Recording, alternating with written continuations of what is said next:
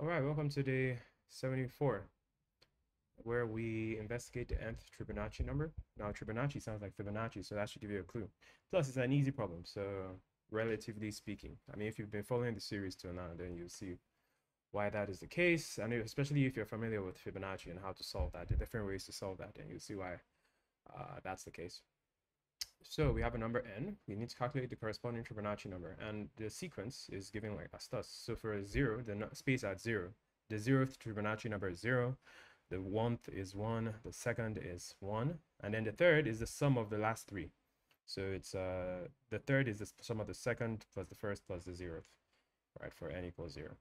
And you can see the demonstration here. So for n equals 7, so this 0, 1, 2, 3, 4, 5, 6, 7. For x, what will x be? x is going to be 13 plus 7 plus 4, as you can see here, highlighted in green, right? And that's what it's going to give you x. And then for 10, you just sum generated up, up until 9, and then just sum the last three, and then you get the 10th number. And that's all there is to this problem. Now, for the solution, there are three solutions to this problem. Uh, there's a naive approach, right, which uses recursion. Uh, there is a there's a naive approach. There's an iterative approach. There's a recursive approach that is uh, memoized, and there's an improvement on the iterative, iterative approach. Um, and it turns out there's one more, but we, we don't go into that in this series. I just found out about uh, what is it, matrix exponentiation. Uh, it's in Geeks for Geeks. You can check that out. But LeetCode and uh, Educative don't seem to go into that because it requires some uh, elementary linear algebra knowledge. So we're not going to do that one. However, we're going to explore the other three fairly quickly. So what's the naive approach? The first thing that comes to mind, right, is to use the same approach for solving Fibonacci. Recursion. Yay! So the recursive approach works and will return us the correct answer. So, and what does that look like? The issue is that it does it in 3 to the power n time, um, and the space complexity of O of n. But what does that look like in code? Um, is this the one? Yes, this is the one. So this is the optimized recursive approach in JavaScript. This is what it, what it looks like. So I have this helper that where that does the recursiveness for us. Let me hide it briefly. And actually, I want to hide this too. That's the driver code for debugging and stuff. So how do how does it work? Basically, I create an array of, uh, of size n for the number that we want to build, right? So of size n, I fill it fill it with something huge or or something yeah something huge like number the max value. Then at index 0, 1, and 2, those are my base cases. I just seed those, right? Uh, set those, set those, set those properly because that's what's gonna help me terminate later on. Then I call my helper, pass in this uh, memo, right? This uh, table that stores previous solutions for me. And when I get there, I just check, okay, have we seen this before? That's what this this block says. Have we seen this before? If we have, just return that value. If it's less than three, just return it because I mean, I already set it, right? Otherwise, do this, right? Call it the same function on itself for n minus three, n minus two, and n minus one. Now, the difference between this and the brute force naive approach is that that one wouldn't have this DP, right? So basically this wouldn't be there. I just put an if statement in here instead that just checks if it's less than three. And then if it's zero or one, return zero. If it's if it's one, return one, basically. Um, actually, no, if it's zero, return zero, otherwise return one, right? I would have just done that here instead. And then this would be calculating, it, repeating itself over and over again a lot, a lot of times. And feel free to check that out in your own time. But moving on, I want to see if I can cover everything in, in uh, let's say 10 minutes. So they these guys jump straight into the best dynamic programming version that is not the matrix exponentiation one, right? The tab tabulation method. However, a form of the tabulation method. I want to look at an intermediate step that uh, LeetCode had where they basically do something ingenious. So, okay, they're checking, oh, it's n less than 3. Because remember that uh, for anything less than 3, for 0 is 0, for 1 is 1, for 2 it's 1. We already know that, the base case. So if it's less than 3, just check, oh, is it 0? 0 return 0, otherwise return 1. Then, moving on, we create another DP array. Uh, this time, this time we fill it with zeros. I mean, I could have filled the last one with zeros too, but uh, in this case, we set these things to one, just like last time, as you can see familiar. Then here we're looping from three up until n, up in n inclusive, right? That's why, I mean, they have the plus one, right? Probably affects it somehow.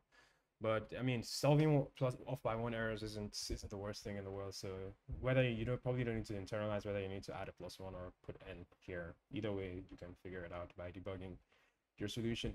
And the dp of i is equal to i minus 1 plus i minus 2 plus i minus 3 while looping through n. I need this just works, right?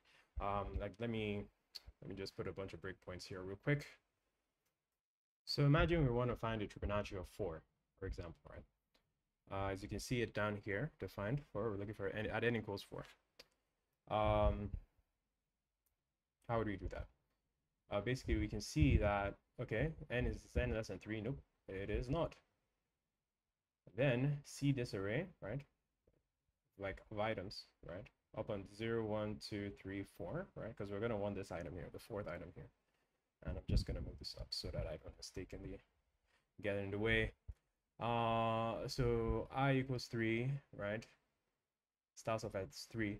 We already know uh, this is going to give us dp at 2, dp at 1, dp at 0, which we already have 0, everything there. And then when we go through the first loop, we see that it gets the third Tribonacci. And then if we go through it again, right?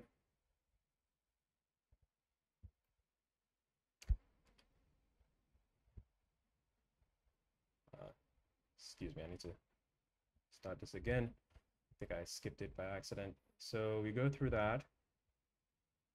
Then we loop again, right? We come back into the loop.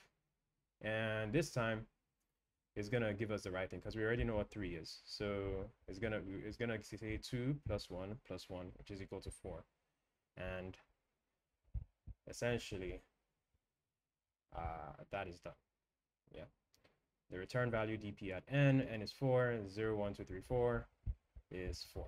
Okay, so that's all there is to this this version of the this version of the solution. Let's go into the space optimized version of this solution. This is way more intuitive at first glance, unless you are more familiar with recursive things. And if you've gone through the problems we've been going through, the recursive approach, especially if you've seen Fibonacci before, the recursive approach to Fibonacci should come to you naturally. Um, can come to you naturally. But even if it doesn't, fear not, right? This I still feel is a better, more elegant, more easily debuggable solution that you should definitely go for, right? At least uh, the engineers at NASA uh, say that anyway. They'd always they wouldn't accept that recursive approach if you work there. They would like favor this over that for good reason.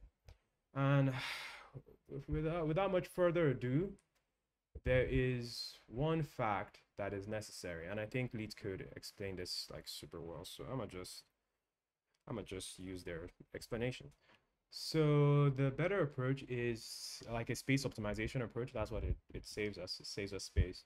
And it just lets us know that we actually only ever need three th an array of three items to find whatever Tribonacci number you're looking for. We only ever need three. We never need more than three, right? Because all those other ones that we generated up, up until that point are we don't need to store them.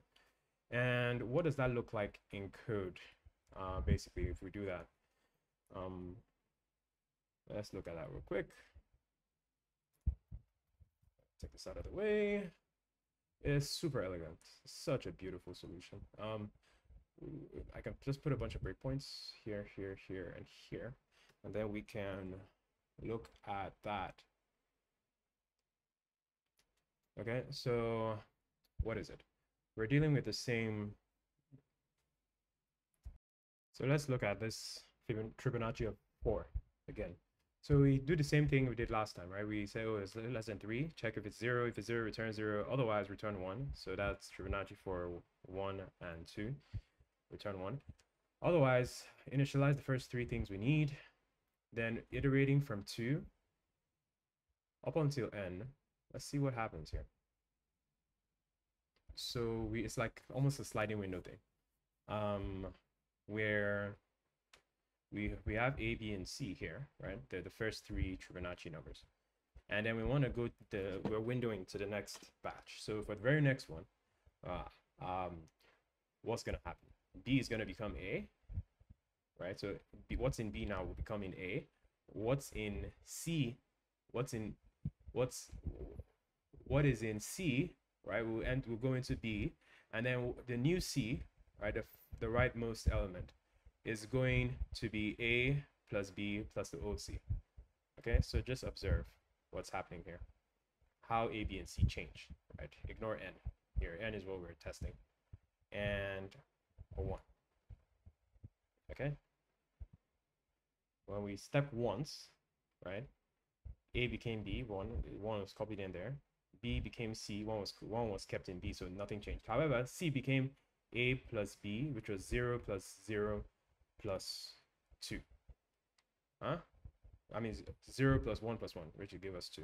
So now we've updated C. And then you just keep going up until n. Um, so, so far i is less than n. And we do that one more time. And we're done. We get the same 4. That's all. That's all there is to it. So feel free to step through this in your own time, your own debugger. And uh, let's look at the time complexity of this uh, solution. I, I, I, did, I favored LeetCode solution to this. Like this seemed way more verbose than than this, right? This seemed way more way easier to follow uh, to me, but they're doing the same thing essentially. You might prefer that. And yeah, so the time complexity is O of n. Can't do better than that. Um, unless you do matrix exponentiation, in which case you get O of log of n. But we don't care about that. Uh, so where n is the number of elements present in the array, and then the space complexity is O of 1, because we only ever need, no matter the size of n, we only need three elements. That's all there is to this video. Thank you so much for watching. Ciao, ciao.